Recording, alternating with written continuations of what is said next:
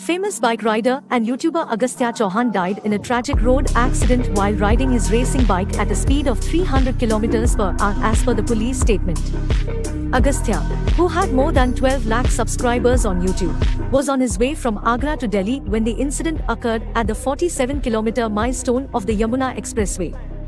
We have seen several incidents in the past where YouTube influencers try to touch the magical 300 km per hour speed limit. While some of them have succeeded in doing so, it remains highly dangerous.